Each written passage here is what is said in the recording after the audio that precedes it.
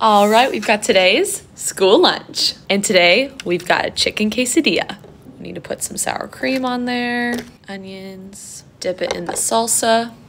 Cheers. This is pretty good. Mm -hmm. I forgot the ranch again, but I have carrots. And some pirate's booty. Oops.